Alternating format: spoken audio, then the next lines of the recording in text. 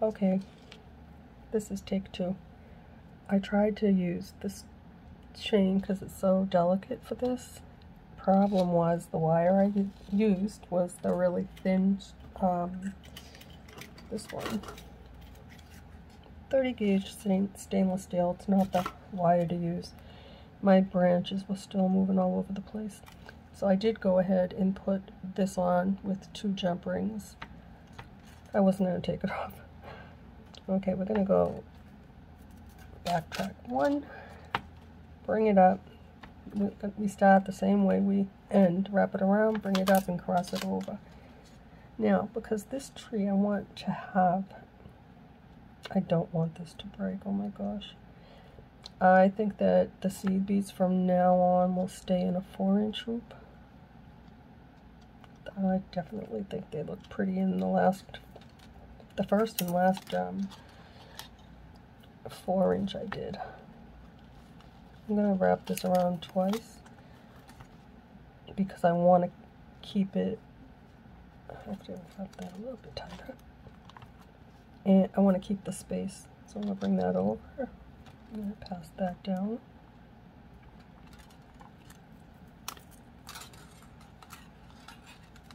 That one's still supporting both of, of those branches because I'm pulling tight on this wire here.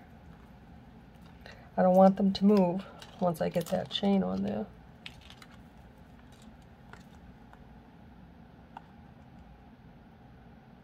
No, I'm not going to go all the way over to there. I'm just going to wrap around as many times as it takes to get to the next branch without it getting crowded. So basically about, not a thumbprint, yeah, just my thumb. Just stick my thumb there. So it has to be tight on the hoop. So you have to hold it. The reason being, then they won't move. I did it with the other wire and they it was not strong enough to hold it in place. So just crossed over the neck of the third branch. Now I'm going to still hold all of them.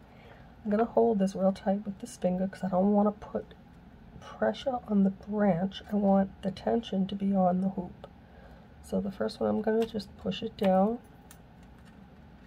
This one here is just to make space, to keep the space. Now I'll hold on to that and pull it and pass it down.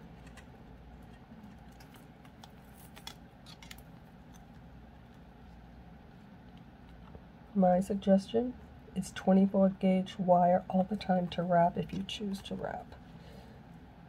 Right now, this is what I have, so I'm using it. I don't like it, but okay. Now, the pull is on the hoop. Gently cross over your branch, pull it back, wrap over one time. Don't pull yet. The tension you, don't want it on your branch. You want it on your hoop. Now you can pull it really tight. And then position your next branch, which I want right there.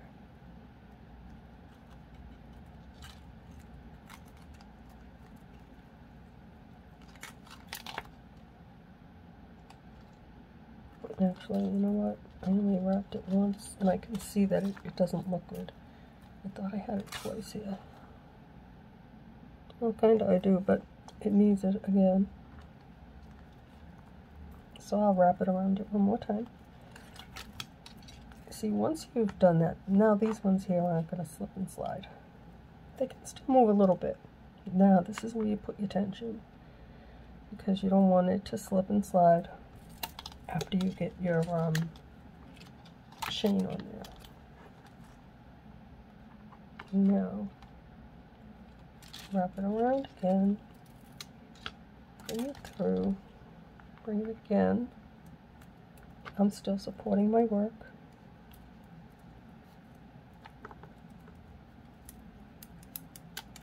Bring it down. I'm standing, this wire will definitely cause harm to my face. Okay, now I'm pulling real tight. I'm crossing over, gently. No tension on it now. Even if I had 24 gauge wire, I would still do it the same. Now I have a kink. A little twist in this wire is not forgiving. This wire is brittle. It is not intended for this. Okay.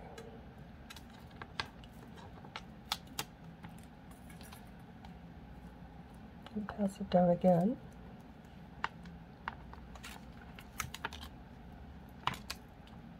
I'm trying to keep a look up because I'm standing. That's only once.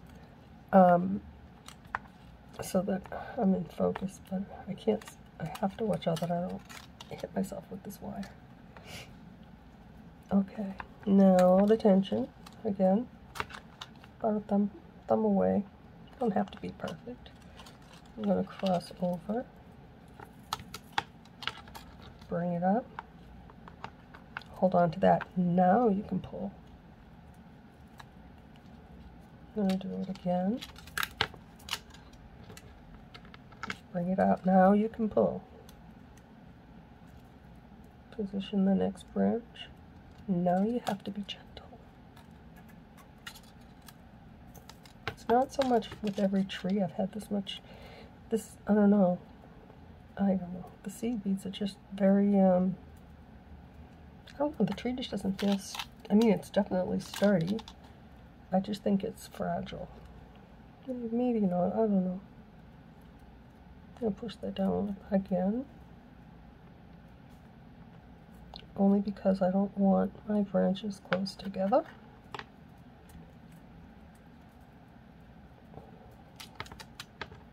This is why I don't like this wire. That little tiny bend. Not easy to get out. I'm still holding on to that for dear life. Okay, now this is when you get rough. Give it a nice good tug. Cross over your branch. Like that.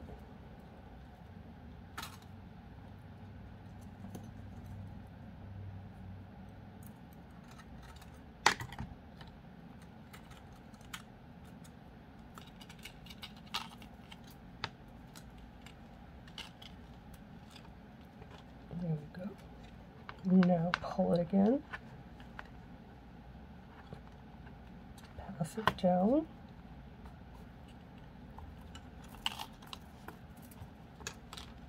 Give it a good tug. Cross over top of the neck of your branch right there. Right there. Push it down.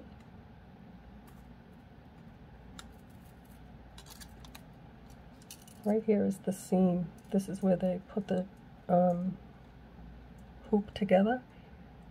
Don't put your wire there. You'll break it if you pull too hard, I think.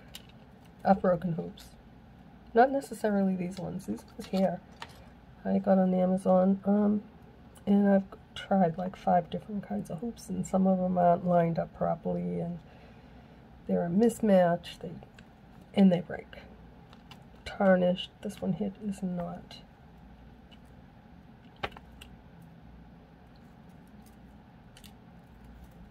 I'm going to try and remember to put it to write down. I have to pull up my Amazon um, purchases and see exactly which hoops these are. I have it in the tip of my tongue, but it's really not, I don't really know for sure, so. Prim Primrose? Yeah, Primrose. That's the the brand that I like. I'm pretty certain that's what it is. Okay, so now we're on the last branch. I'm still holding on to that and these. I've crossed over twice. Now I'm going to do one more time just so that it doesn't loosen up on me. And now I'm just going to give these a little push take the end of this wire, pass it in between the last two branches. You're going to backtrack one. Now, you're going to let this fall gently right here you do not want to pull. Support it and cross it over and cut it. There we go. Let me get rid of this uh, face hazard wire.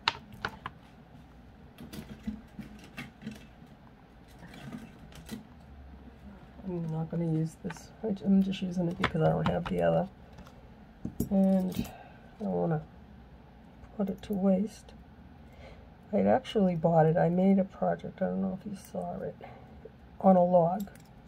And I used the stainless steel wire. It was quite lovely. I took it apart because I used a lot of beads and I wasn't pleased with it. I had lights on it and everything. This is the log. I love this log. $10 on Amazon. And it is definitely worth it if you want a stand-up tree, which I'm going to make something on that. I just don't know what yet. But anyway, guys, enough of my babbling. So this wire, I can feel it. There it is. I don't know if you can see that. That wire is dangerous. So I have to really make sure I. Get down there and I got it. Oh, I can still feel it.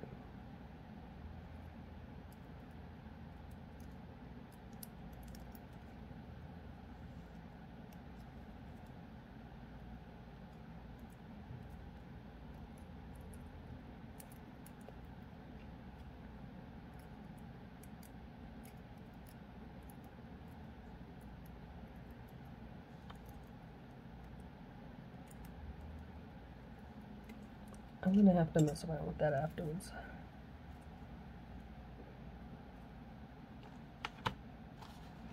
So now they're not to slip and slide. I can move them a little bit if I want to. I'm to put on the chain. Just double checking. Okay.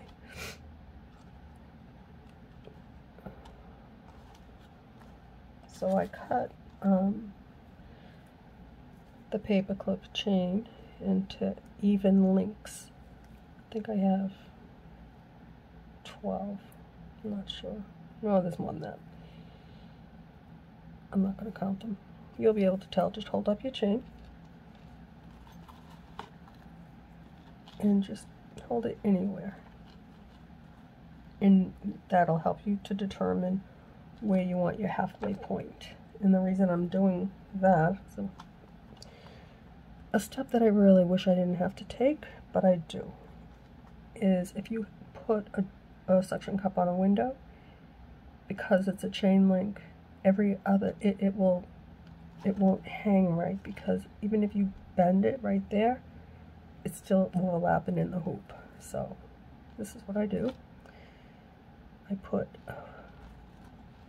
both of my little pieces of, I'm out of focus here, both of the little um, links, I'm sorry, when I'm way over there, on the, on the um, chain, connect them, and close your jump ring. It's not the right way to do it, but I don't want to teach you the wrong way to do things. It's easier when you use two pair of pliers. I just had it in my hand. Oh, here it is. Yeah, so the easiest way to do jump rings properly is twist in the opposite direction. And you can pretty much get it perfect. Uh, and that's kind of close. I don't see any opening.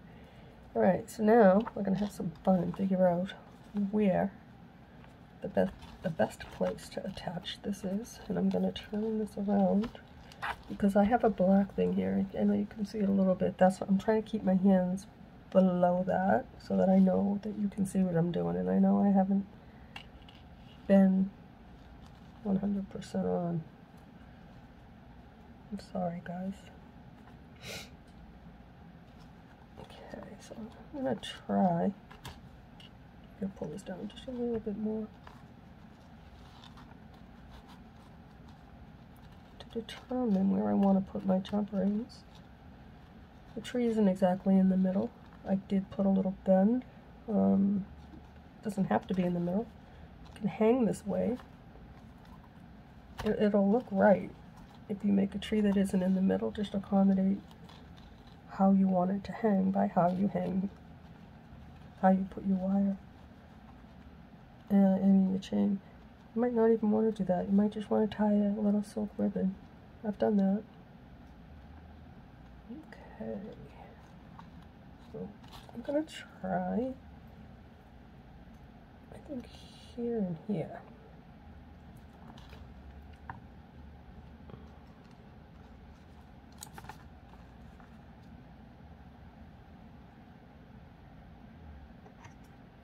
I'm gonna open this. It, it, does slip over, but sometimes it gives me grief, and I'm not in the mood for grief. My voice is hurting As long as I can close it up good. Okay, so we put the first jump ring on. I'm going to put my chain. The right way to close a jump ring, I should have opened it the right way, is to use two pair of pliers and twist in the opposite direction to open and close. Sometimes you hear a little click I didn't hear a little click, but I have a cold and I'm all signs con congestion. I can't hear. Okay, so now I'm going to find the middle. Um, yeah, that's not going to look good. I don't think so.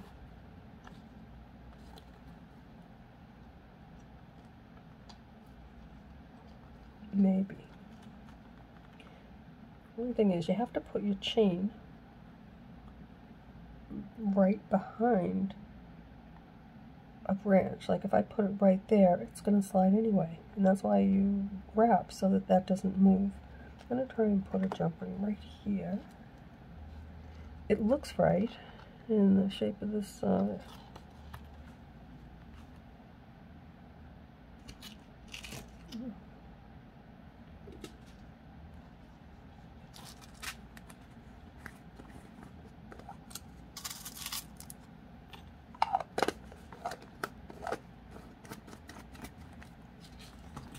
Okay.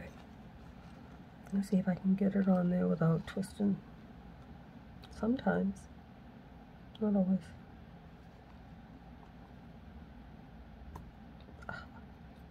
Now, if it just looks good, then we're done.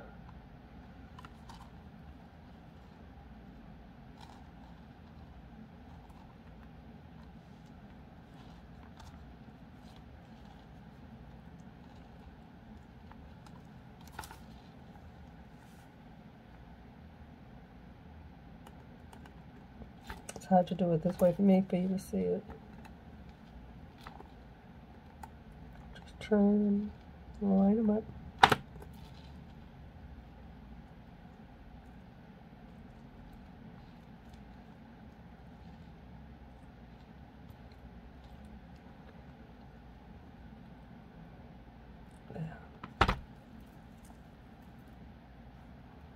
I have to hold it up in front of you first.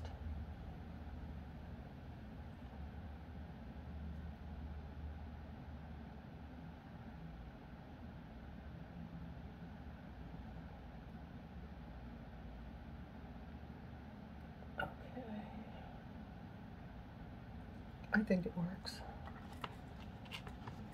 The only thing I just noticed is this, for some reason, isn't hanging flat. Oh, because I put two. I should have used the same one and gone through. See what I mean? It's like a necklace. If you, alright, you gotta fix that. Oh, and I was so happy I got this to go through. I don't want to take this off because it won't go through the hoop. So what I'm going to do, I should have realized it because I did it on the, on the previous one.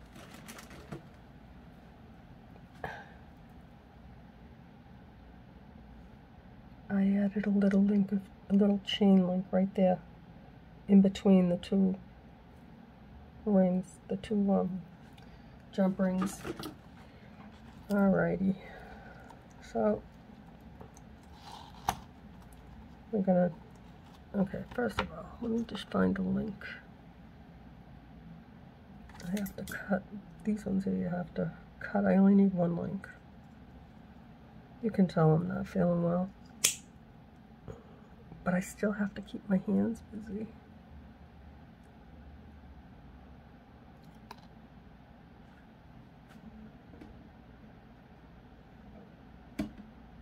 Okay, so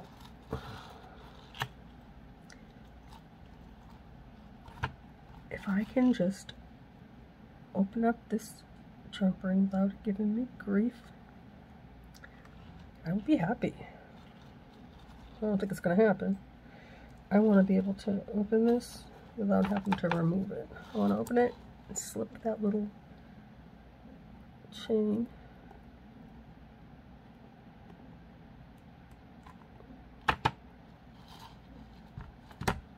Do I have to take it off? I don't think I do, right?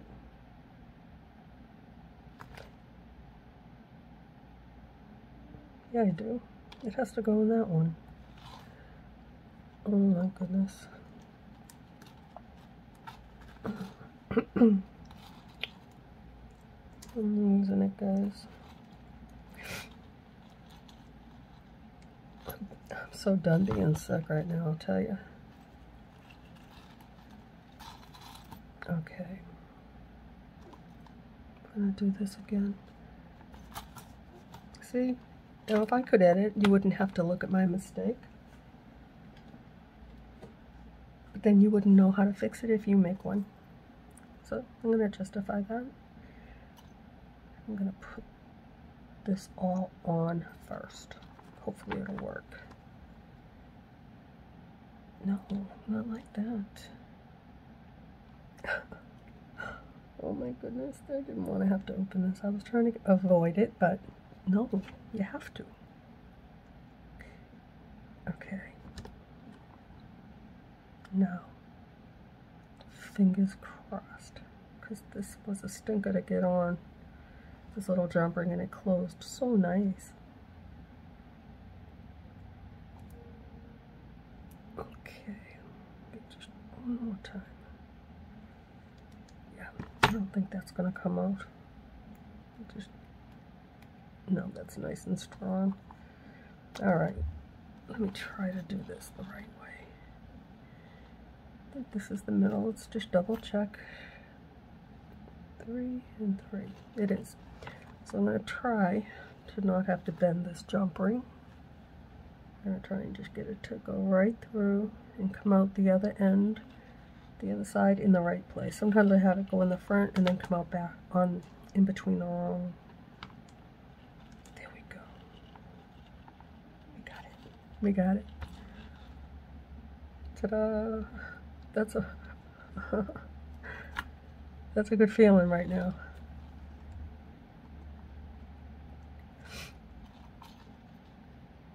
Look at that. It worked. Now you'll see what I mean. Do you see that? Before it was hanging sideways because I had two jump rings without the link in the middle.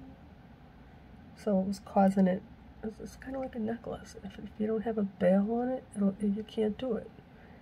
And I forgot to do it. But I didn't forget how to make a tree. Here's my magic. Let's see if you can see it. So what I'm going to do, I'm going to take a photo of it hanging up. And we're to call this one the same tree made twice due to a broken branch. Well, guys, I appreciate you and your patience. So I did want to answer a question because I have it often before I let you go. I've been asked if I sell stuff. I actually got a comment today that I should be selling my stuff. All right, so this is the, the situation. When I first started making the trees, long before this channel, was during the pandemic because both my husband and son are essential and I was very lonely. So I got crazy busy learning, teaching myself my own techniques. This is my way. I have not copied anybody. And I started making some really pretty trees. So at first I was just making just random stuff. And then I started doing the four seasons, winter, spring, summer, and fall, all the same, and connecting them. And I did sell them. My husband would take them to work and he'd call me and tell me I need five more. I was selling them a lot.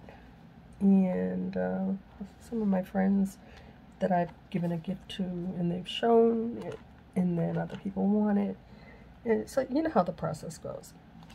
But after that, I started getting really good. So, well, kind of good.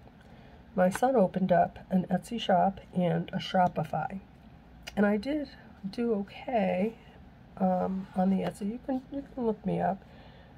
I did one winter, spring, summer, and fall in a 5-inch hoop, I believe. And I have another one on, still available, but the other one sold for $200. It's huge, and it's just, it's absolutely stunning. And that is on my Etsy. Now, if you want to see stuff that I've made in the past, it's, it is on Etsy. Some of it I don't like, and some of it I do like. And I do have a small set of Four Seasons. And the reason I don't do well on the Etsy is it's hard for me to post on a phone. I have a computer, a laptop, but I just don't know how to edit it. It's, it's a total handicap, believe me. So my son was downloading everything and then, you know, setting it up. I do know how to do it on the phone, but it'd take me an hour for one, to post one thing. I did post um, my crescent moon on there and a few new things, but you'll also get a sense of style from how I have grown, and that is on Etsy. Now, the Shopify, if you go to my Instagram, it is the same, it's MSJ Crafts Boutique. Go to my Instagram, you'll see stuff that I've recently made. I post a lot there. I also show a lot of my cats. Um, some fun stuff, you know. It's I like it. It's me. You know, it's just who I am. This is this is what I do. So I never thought that I would be successful with YouTube. I was encouraged by someone, as I told you in a previous video, Brad Creative Art, who gave me wonderful advice and still does. I still can't edit, and it's a handicap. I need to be able to make a playlist and um, a banner just all the things, good thumbnails that I don't know how to do. A playlist, I think, is very, very important. Um, I was actually informed that I'm now eligible. I qualified after my thousand um, subscribers for the Partners Program, which I never thought I'd come to that, but I have. I don't make any money, but not yet. Maybe someday I will.